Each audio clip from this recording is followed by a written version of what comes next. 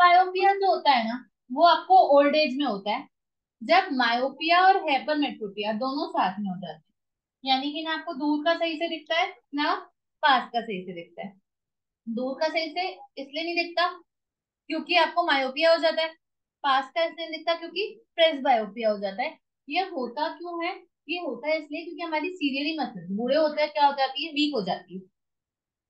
तो दूर के देखने के टाइम वो आइलैंड्स का अपर्चर चेंज नहीं कर पाती है तो फोकल लेंथ चेंज नहीं होती। पास के देखते टाइम भी वो आइलैंड्स का अपर्चर चेंज नहीं कर पाती तो फोकल लेंथ चेंज नहीं होती। ठीक है ना? तो इसको एजिंग आई बोलते हैं। एजिंग आई क्यों? क्योंकि हम लोग ना दूर की चीज़ें फोकस कर पाते हैं ना, पास की चीज़ें। ऐसे में आपको क्या होता है? मायोपिया और प्रेस बायोपिया सॉरी मायोपिया और हाइपरमेट्रोपिया दोनों क्या हो जाता है? साथ में हो जाता है ऐसे में। आप क्या करते हो? बायफोकल लेंसेज यूज़ करते हो। क्या यूज़ करते हो? बायफोकल लेंसेज जिसमें बहुत बार ऊपर के पार्ट पे क्या होता है? कॉन्केव लेंस होता है, नीचे के पार्ट पे कन्वेक्स लेंस होता है। ठीक है? तो जब आपको रीडिंग करना रहता है तो आप चश्मे को ऊपर नीचे एडजस्ट कर लेते हो और दूर देखना रहता है तो नॉर्मली चश्मा रख के कर लेते हो। ठीक है? तो ये जो सिचुएशन होती है, इसे हम लोग क्या कहते हैं? प्रेस बायोपिया कहते हैं। ठीक है?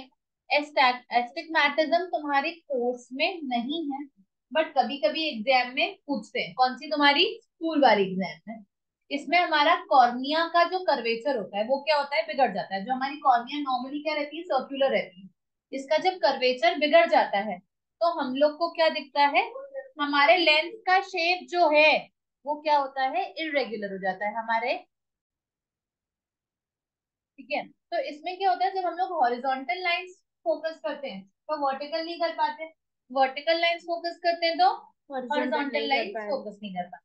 तो इसके दो दो तरह के एस्टिग्मेटिज्म होते हैं। एक होता है कॉर्नियल जिसमें हमारी कॉर्निया का शेप बिगड़ जाता है और दूसरा होता है लेंटिक्यूलर जिसमें हमारा लेंस का शेप बिगड़ जाता है। ठीक है?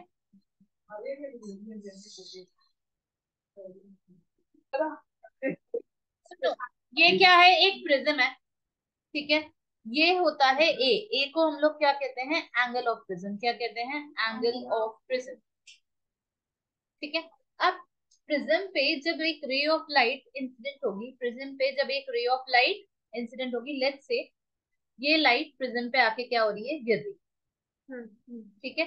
तो इसको हम लोग लेबल करते हैं क्या? ओ ए एरो कहते हैं। और इस पॉइंट पर क्योंकि ये मेरा पॉइंट ऑफ़ इंसिडेंस है तो यहाँ पर मैं क्या ड्रॉ करूँगी? एक नॉर्मल ड्रॉ करूँगी। यहाँ पर मैं क्या ड्रॉ करूँगी? ये नॉर्मल इसको नाम दिया एक्स एक्स डैश अब ये कैसा मीडियम है?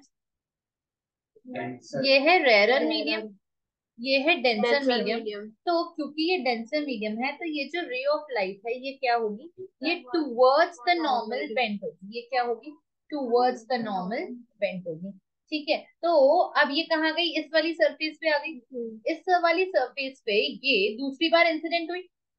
तो इस पॉइंट ऑफ़ इंसिडेंस पे हम लोग क्या करेंगे? एक और नॉर्मल बनाएँगे। इस पॉइंट ऑफ़ इंसिडेंस पे हम लोग क्या करेंगे? एक और नॉर्मल बनाएँगे। लेट्स से इसको हमने कहा वाई वाई डैश अब ये ऑफ़ रे ऑफ़ लाइट क्योंकि अब डेंसर से रेयर मीडियम पे जाएगी तो away from the normal bend ठीक है? तो जब ये एक अवे फ्रॉम द नॉर्मल देखो सुनो मेरी बात सुनो। ये लाइट अगर प्रिज्म ना होता तो ऐसी स्ट्रेट जाती। हम्म। आगे नहीं? हम्म। अब अगर इसको नॉर्मल की तरफ़ बेंट होना है तो ये इधर जाएगी।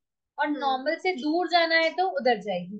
क्योंकि ये डेंसर टू रेयर जा रही है। क्योंकि ये डेंसर टू रेयर जा रही है। तो ये कैसे बेंट होगी? Away from the normal bent होगी। ये कैसे बेंट होगी? अवे फ्रॉम दी नॉर्मल ठीक है अब अगर ये प्रिज्म ना होता, अगर ये प्रिज्म ना होता तो ये जो रे है, ये कैसी चली जाती? ऐसी? बट क्योंकि प्रिज्म था, क्योंकि प्रिज्म था, इसलिए ये रे कैसी गई? ऐसी? मतलब ये जाने कैसे वाली थी? ऐसी। ये चली कैसे गई? ऐसी।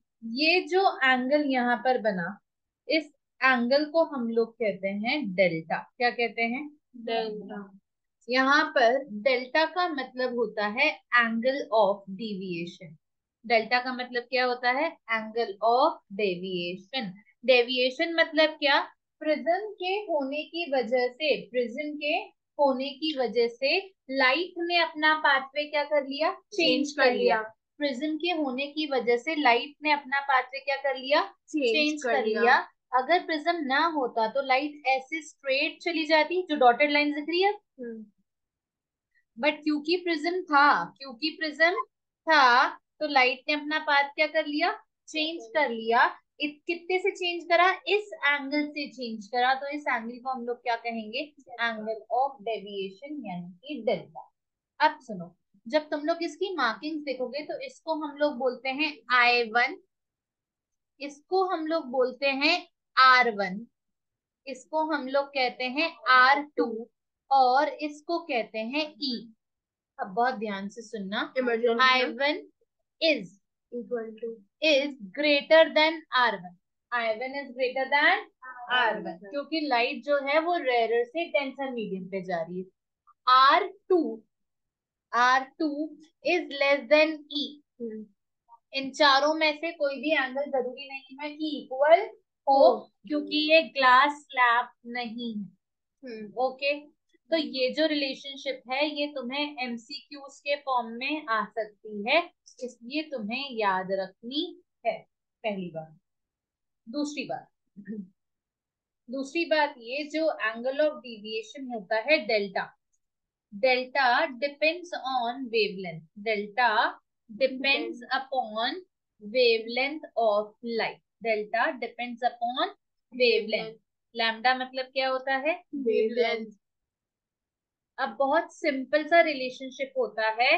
वेवलेंथ ज़्यादा होगी तो एंगल ऑफ़ डेविएशन कम होगा। वेवलेंथ कम होगी तो एंगल ऑफ़ डेविएशन ज़्यादा होगा।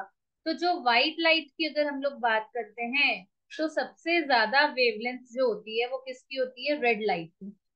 तो सबसे कम एंगल ऑफ़ डिविएशन भी किसका होता है? रेड का। ठीक है? और अगर सबसे कम वेवलेंथ की बात करें सबसे कम वेवलेंथ की बात करें तो सबसे कम वेवलेंथ जो होती है वो होती है वायलेट वायलेट की वेवलेंथ क्या होती है सबसे कम? तो उसके अंदर जो एंगल ऑफ़ डिविएशन होता है वो सबसे ज़्यादा होता है। यही रीजन रहता है कि जब हम लोग आगे पढ़ेंगे क्या? Splitting of white light through it seven colour तो सबसे नीचे कौन आता है? वायलेट आता है क्योंकि सबसे ज़्यादा डिविएट सबसे ज़्यादा रास्ता कौन भटकता है? वायलेट और सबसे कम रास्ता कौन भटकता है? रेड क्यों? क्योंकि रेड की वेवलेंथ ज़्यादा है तो उसका एंगल ऑफ़ डेविएशन कम होगा। रेड वायलेट की वेवलेंथ कम होती है तो उसका एंगल ऑफ़ डेविएशन ज़्यादा होगा। इज़ दैट क्लियर हाँ।